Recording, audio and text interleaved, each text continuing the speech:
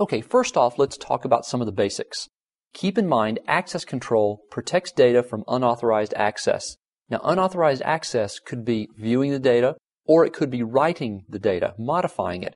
So we know that access control is going to support two of our three tenets of our basic CIA triad.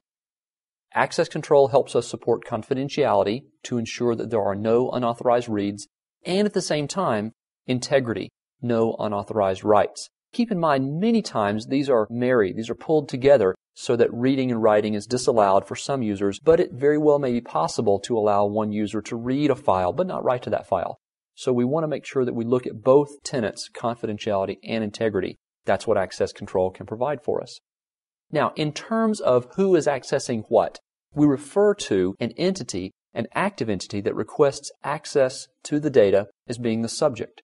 So if you wanted to open a file, then you would be the subject of that access. The file that you want to open would be the object of the access. So an object is an entity that contains or controls data. Now we normally refer to the subject as being an active entity because you're actually trying to access, you're doing something. Whereas the object is the passive entity because the object is the thing, the file, the printer, or something, some resource that's actually being accessed.